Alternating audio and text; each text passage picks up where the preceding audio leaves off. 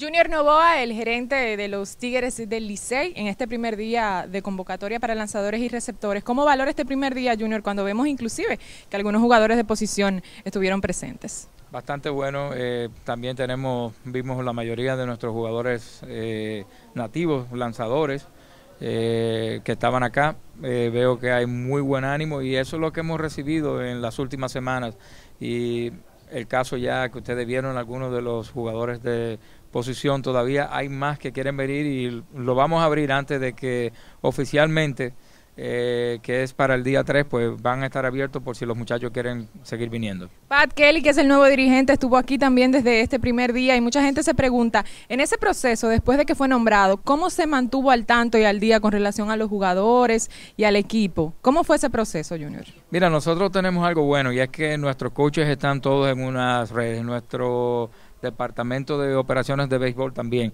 Y entonces pues lo hemos mantenido a él al tanto de cada jugador, no solamente de los jugadores importados que hemos tenido, sino también de los jugadores nativos nuestros, cómo van cada uno, quiénes van a estar desde el primer día, quiénes lo han parado. Eh, en, en algún caso de fatiga, quienes han tenido problemas de salud, o sea que él está al tanto de todo lo que está pasando en el equipo.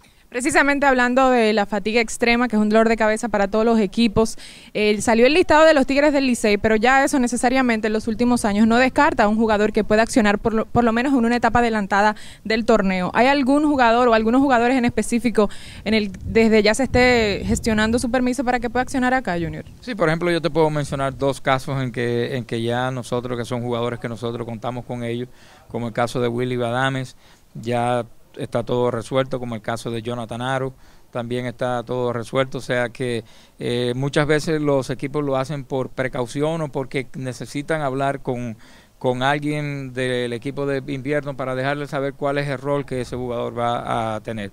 En, en, el caso de esos dos jugadores, pues ya tenemos todo resuelto. El equipo recibe una mala noticia la semana pasada por lo de Yuneski Maya y la operación que lo saca del panorama para esta temporada. ¿Algún nombre, aunque hay muchos lanzadores, sobre todo en el caso de los importados, que se maneja para sustituir a Maya dentro de la rotación abridora de los Tigres? Eh, sí, ya tenemos, por ejemplo, el caso de Matt Cook, quien se encuentra lanzando ahora mismo con el equipo de Grandes Ligas de los Diamondbacks.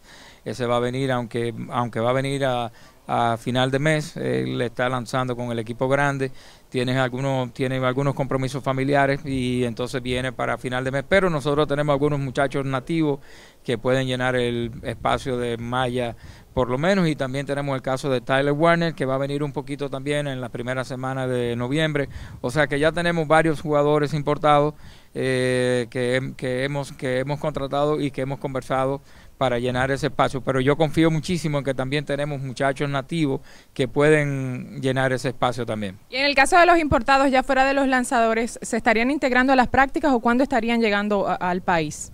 Alrededor de unos 10 días antes eh, ya viene eh, Andrew Applins, Logan Moore, eh, nuestro receptor, que son los únicos dos jugadores. Bueno, Hunter Dozier, que está en Grandes Ligas y que después de las grandes, o sea, terminando las Grandes Ligas, eh, va a ir un par de días a Arizona, inmediatamente viene para acá. O sea que son los tres jugadores importados de posiciones y en el caso de Dozier, está participando todavía, o sea que lo que van a necesitar es un par de días de, descanso para, para poder venir. Bueno, muchísimas gracias Junior y muchísima suerte. Esta será la primera de muchas entrevistas aquí en Licey TV. Gracias. Eso espero. Seguimos con más.